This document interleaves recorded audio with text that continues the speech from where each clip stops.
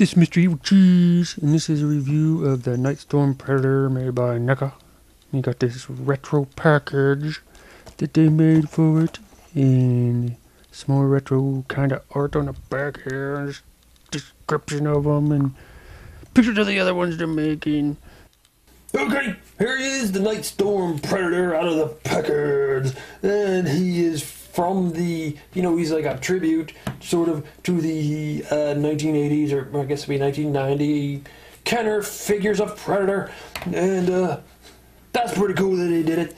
And uh, I did have several of the Kenner Predators, and I thought they were the kick-assiest Predators ever, and I thought nothing could ever top them Predators back then. And then, of course, McFarlane comes out, and then that comes, NECA comes out, and they completely blow away anything that they ever did.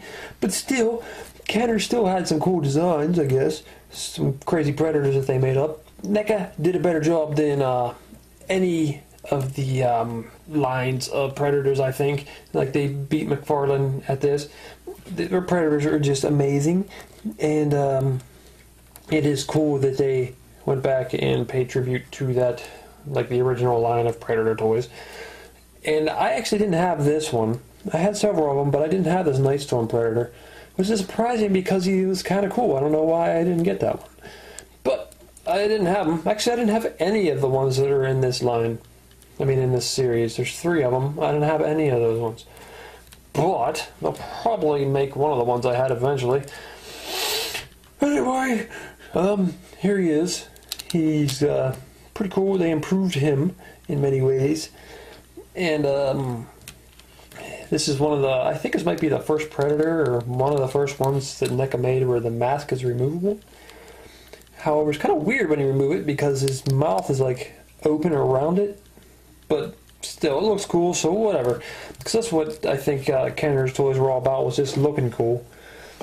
And um, this figure is kind of like a mixture of new stuff and old stuff mixed together. A mixture of um stuff mixed together. That I'm drunk. Just shut up. Okay, but anyway, like most of him is, you know, like repainted parts from the Super Predators from the Predators movie.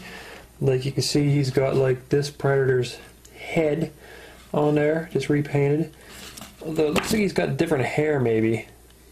Unless it's just spread out differently. I don't know. Go away, Dick. I'm the Dick. But yeah, he's got parts of him. You can see, like, looks like he's got the same forearm there.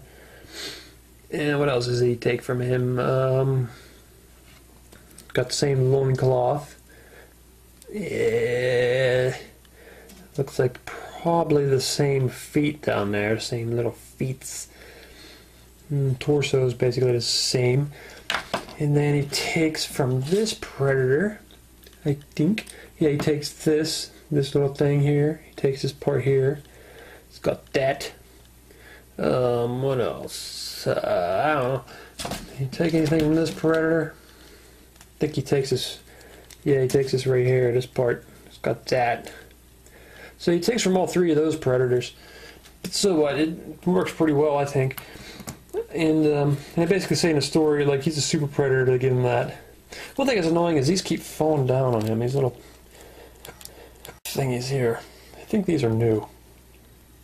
And um, this is definitely new. This skull staff thing is new.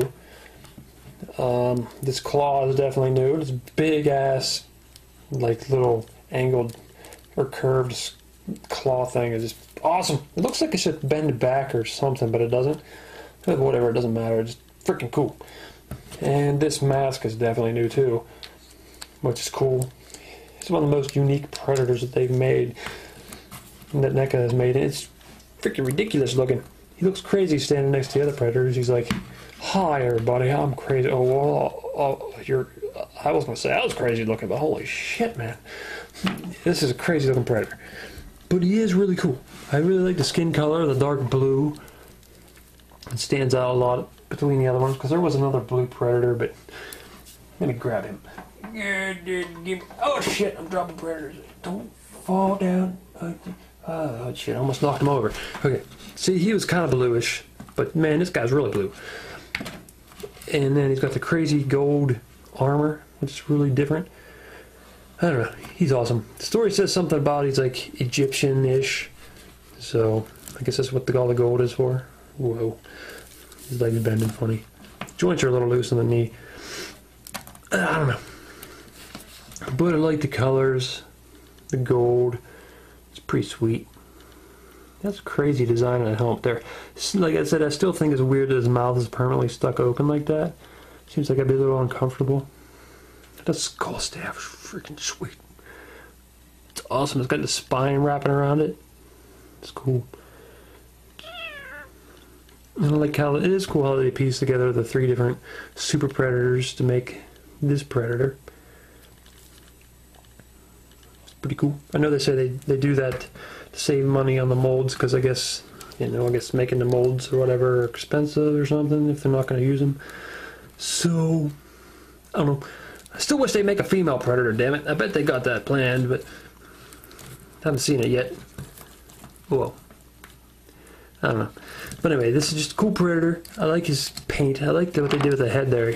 I compare him to the the head is based on. That one's like gray and red, and this one's like like dark blue and even darker blue, and then a like purple, pinkish inside of his mouth instead of red. Oh, it's just different. It's pretty sweet though.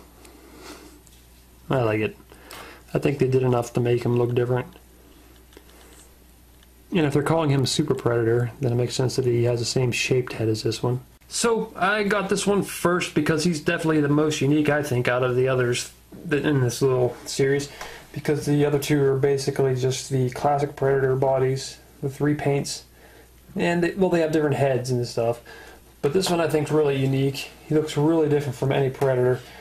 And I just think he's freaking awesome. So can't wait to see what other Predators from the classic Kenner line that they make because this one's really cool. I like what they did. And uh, I'll do reviews of the other two if I ever get them.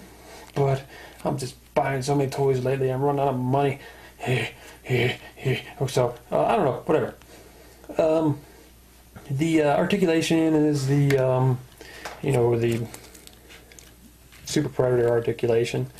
So if you if you have any of them, it's the same. It's like not ball jointed there, but everything else just moves pretty good.